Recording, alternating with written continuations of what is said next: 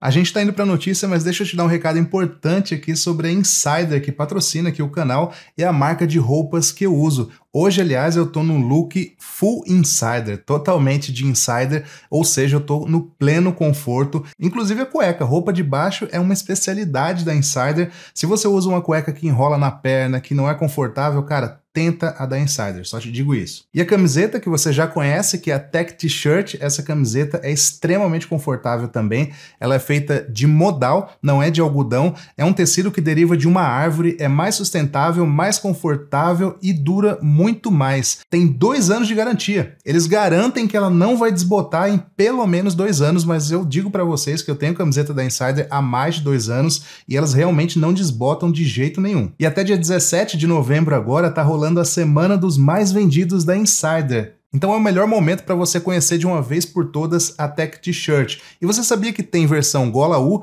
tem versão gola V, tem diversas cores e diversos tamanhos também. Corre lá para aproveitar a cor e o tamanho que você quer, porque quando tem promoção assim o estoque esgota rápido. E tem um cupom especial esse mês que é o Fábio BF. Junto com as promoções que já estão rolando lá no site da Insider, você chega a até 40% de desconto com esse cupom ele é cumulativo com as promoções que já estão rolando lá. Então, se você achar uma peça lá que já está em promoção no site, mesmo assim você coloca o cupom FábioBF e você vai chegar a até 40% de desconto, dependendo da peça. Aproveita que até dia 17 o link está aqui na descrição.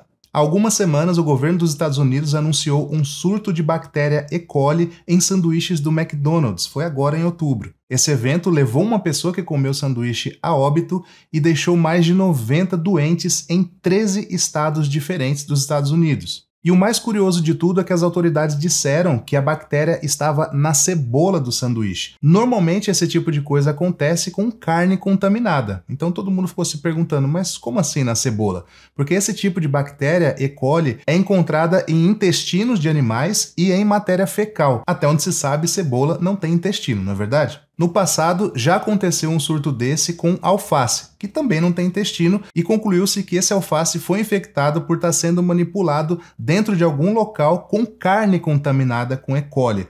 Porque a carne é muito mais fácil de ser contaminada com material fecal, porque quando há o abate do animal, é possível que algum intestino estoure ou aconteça alguma coisa ali que faça cair um pouco de matéria fecal na carne. Então, se houver uma carne contaminada dentro de uma cozinha ou de uma indústria que processa alface ou cebola, é muito possível que esses vegetais sejam contaminados. Então, em última instância, poderia até ser um sanduíche vegano que mesmo assim poderia estar contaminado por uma bactéria que vem da carne. Uma representante da autoridade sanitária lá dos Estados Unidos falou o seguinte, ó, abre aspas: Nunca tivemos um surto de E. coli com cebolas antes. Então, provavelmente o que aconteceu foi que houve contaminação durante o processamento depois que saiu da fazenda. Fecha aspas.